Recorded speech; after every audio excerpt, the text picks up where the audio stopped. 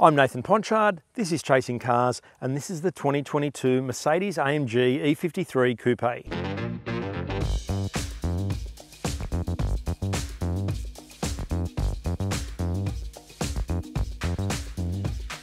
Now, the last time we drove the E53 Coupe was at the launch earlier in 2021, and Tom came away saying that he thought it was the best car that Mercedes-Benz makes, which is a big statement, but we're here to see what the E53 is like to drive every day because we've been living with it for a week. Now, other questions that need to be answered are, is that straight six under the bonnet good enough to mean you don't need the twin turbo V8? And is the coupe practical enough to mean that you don't need to have a fuddy-duddy sedan anymore? You can have this slinky pillarless coupe as a replacement. Now, the first thing that strikes me, as always with a car like this, although not all the time with a Mercedes-Benz, is that the coupe is beautiful. This, like the several generations of E-Class Coupe before it, is completely pillarless, whereas the CLK that revived this sort of sporting Mercedes two-door flavour in the 90s had frames. So thank God for that. I dropped them right now, but it's raining, so we'll have to use that in B-roll. But you'll see just how beautiful the interior of this is with all of the sides open. It makes having a car like this great. Defining the front is this Panamericana grille. There's been a few styling tweaks in this car for 2021, and I probably should point out that this here silver E53 Coupe is stock, meaning that this is as close as you're gonna get to straight off the showroom floor. Not everything on it is completely standard though. It does have these 20 inch alloys, which are these really cool sort of five spoke alloys mixed with 245 front, 275 back. They're a no cost option. I think they look stunning. They would be what I would choose because you don't normally see a wheel design like that on one of these E-Class bodies, sedan or whatever. Uh, interestingly, it has Yokohama Advan tyres, which is not what I was expecting, but they're good, so no brand judgment there. We have the Turbo 4MATIC badge here, which implies that this straight six turbocharged six cylinder does have all-wheel drive, and it absolutely does have that when you're driving it. We also have black mirror caps, the full black center roof because this has an opening sunroof, not just a glass roof. So you can have all of these windows drop down here except for this little additional pane here, completely open and the sunroof open. So it's kind of like the cabriolet you're having when you're not having a cabriolet. One of the other reasons why I reckon the E53 Coupe is so hot is that it looks fantastic at the back end, especially these new slitty lights. They have a very sort of retro look about them, but they also look super modern on this car. When you go into the boot here, which is electric, we have the three Chasing Cars bags neatly arranged in there, 425 litres of space, which is pretty good. We also have the seat fold things just here. You can pull to pop the back seat backrest down. And that's more than enough space for a car going on holidays. Large sedans only have about 50 litres more than this in the smaller side of it. So for a two-door, that's excellent. The other great thing about the E53 Coupe is that you feel like you're sitting in a two-door and not a sedan. I don't know what it is that makes it feel so different to the E-Class sedan, but it definitely feels more premium.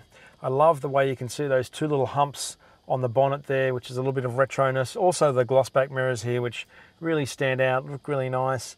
I have a sense of sitting underneath the sunroof, which is such a annoying thing about having a sunroof when it sits behind your head. Here you can actually sense that there's a little bit of air going on. And like I mentioned, all these windows drop for that beautiful pillarless view, which just makes the car. The dashboard is as per the 2021 update for the E-Class, which means that it has sort of the latest version of Mercedes-Benz's MBUX below what the S-Class has introduced. So we've still got two 12 and a quarter inch screens here. We have a lot of adjustment in terms of the instruments. I've currently got this on Super Sport, which looks like something out of Tron 3. If they ever did a Tron 2, this is Tron 3 right in front of me. I've got the uh, Apple CarPlay here, which actually fits in pretty neatly in the car, but does need to be wired through. There is one USB-C port in here, which we have the Mercedes-Benz connector to go to a normal USB, and we've got two more in here for this little carpeted center bin here, which is nice. We also have the Burmester stereo as standard in Australia, which sounds absolutely awesome when the music is something really fresh and well recorded. We also have this new steering wheel, which uh, as Tom pointed out earlier on when he drove this car on the launch, it introduces these capacitive buttons on these dual little horizontal spokes. It looks great. They do take a little bit of time to get used to though. My fingers are delicate and beautiful, I'm sure, so they aren't that hard to use, but there is a degree of, um, I suppose, visual cognition that you need to be able to know what things are where and be able to see this white on this glossy black stuff. Sliding your hand on the volume here is not a natural thing, like you're driving and doing this rather than just pushing a button, although you can just do this like a normal person and it achieves the same thing. So, hmm, whatever. The air vents are as per what this car had when it launched in 2017, I think.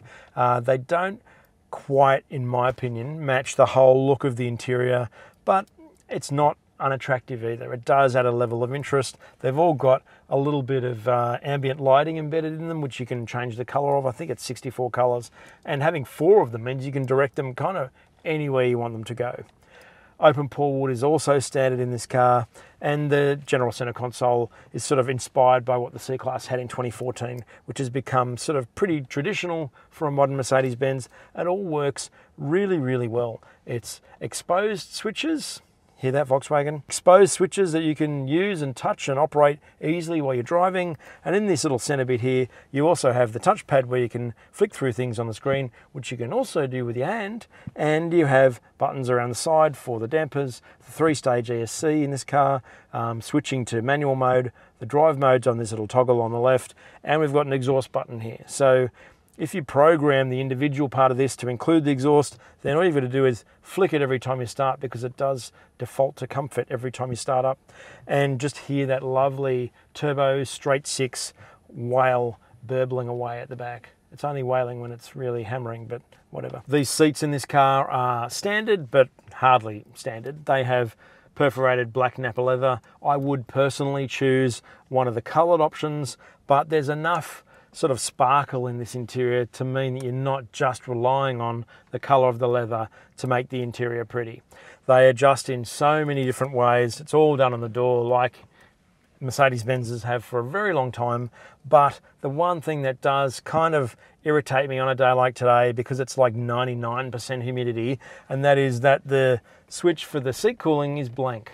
And I feel like at 173,000 fan cooled seats would be nice, very nice. Speaking of nice is the door itself. It's beautifully trimmed. This is full leather interior. All the dash top and everything is all leather. It's really nicely stitched. It's all an even grain, so it all seems to fit in really beautifully. We've got proper door grab handles here.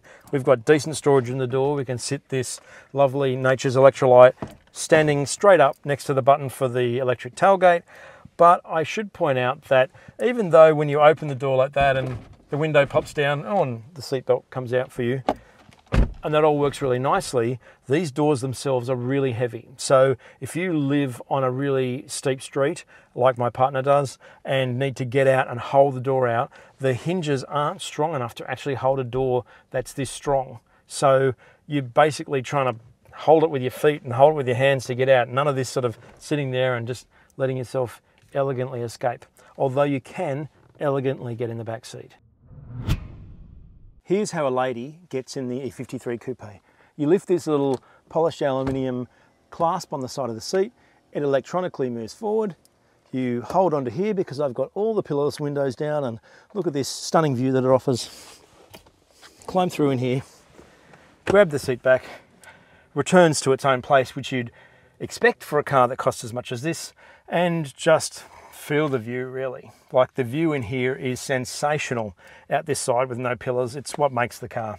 I can also see easily out of the sunroof, which will open pretty much to about here. So you do get a real cabriolet-like feel in what is a hardtop coupe. These seats themselves are essentially just like buckets. The backrest is a little bit flat, but the base is fully bolstered down the side to really seat you in it nicely. The center seat is just cup holders. So we've got this sort of plastic little two here and a little piccolo. So we've kind of got space for three. We do have a pair of air vents here matching the design of the two in the front. Very high transmission tunnel. That doesn't really matter either way. There is something here which is another pair of USB ports and an ashtray, which is very important in Switzerland. Uh, the center here, we don't have an armrest, but we do have this sort of faux armrest, which is the ski port that folds down is actually quite comfortable and has some nice carpet on and a little hinge there, but that's all good. You can chat to your mates in the boot. Um, we also have our own little Burmester speaker grills here, more padded leather along the sides here. All of this is leather. There's another little sort of compartmenty tray thing down the side here.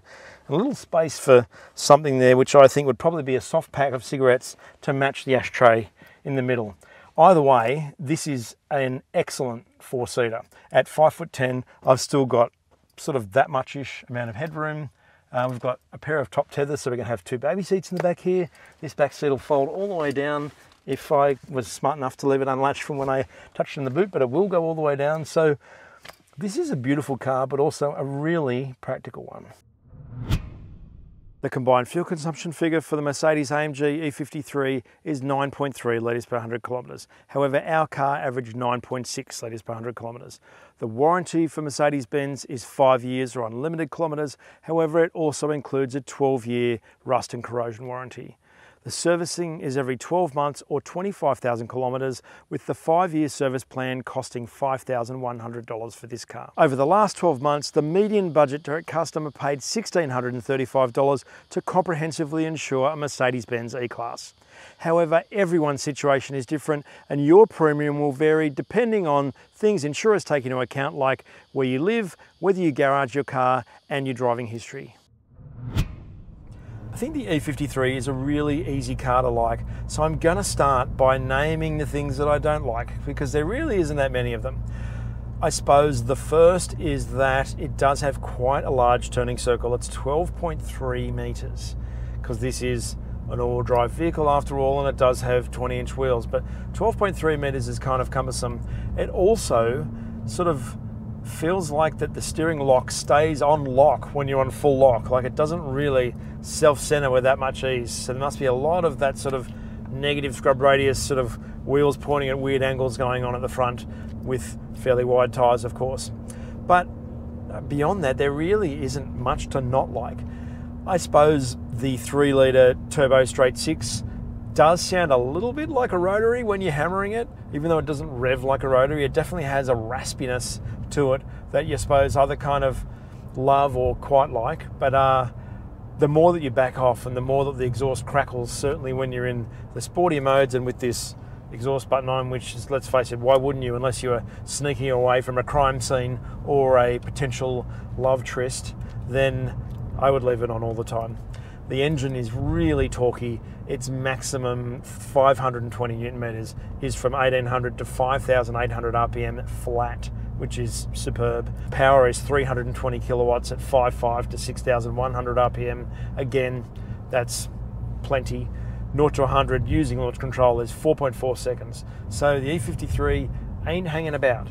It is one second slower than the best E63s, but I think that that is purely academic and all about uh, pissing competitions. I think that's how you describe it, rather than actually being something that's really that usable in any country other than, say, Germany or places that are not speed limited. It does have a little bit of an EQ boost, which is the 16 kilowatt, 250 newton meter sort of extra little fluffy bit that it adds in that it does for brief periods for an overboost, like when overtaking or when doing full performance figures. But just the general demeanour of this drivetrain with the 9-speed speed shift automatic just makes the E53 an effortless, relaxing, wafty, talky car to enjoy.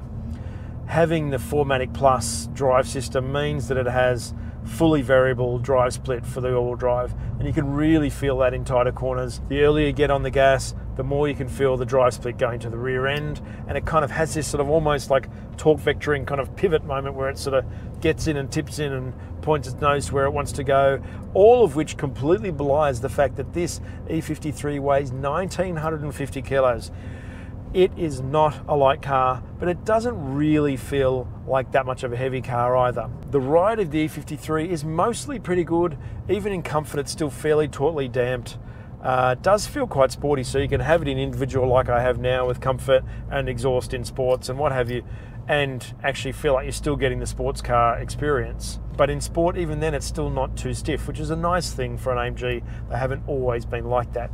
But 20 inch wheels is not a massive hoop these days. That's not a huge wheel. And there's been a couple of moments where the E53 has hit a pothole or a bump, and it has been very rainy in Sydney lately. So there has been quite a lot of opening up of holes in the road, but I haven't been aiming at big holes. We've hit a couple that I've actually sworn at, would you believe, when I've hit them because it has let quite a loud bang into the cabin. So I wasn't really expecting that from air body control the suspension system in this car being air sprung with adaptive dampers. As for the safety systems, this has everything that Mercedes Benz can throw at it. So, really, there's nothing that the E53 is missing out on per se that I can see. It's more about how they operate in reality. This is one of the few cars that I've driven that you don't constantly search through the system straight away to try and work out how to turn lane assist and steering assist off because they're so amateur and so annoying. In the E53, it is subtle and relaxed. It kind of keeps an eye on you without nannying you and nudging you constantly. I just feel like this is the benchmark still for what other people should be watching and how manufacturers set up their safety systems, and everything else is just not good enough. So while the E53 isn't a balls out sports car, this is the E53 4MATIC Plus, not the E63. So it still has a model to go for that full ball tearing, hardcore, hot rod feel. This is more about being a suave sporting coupe rather than an actual sports car.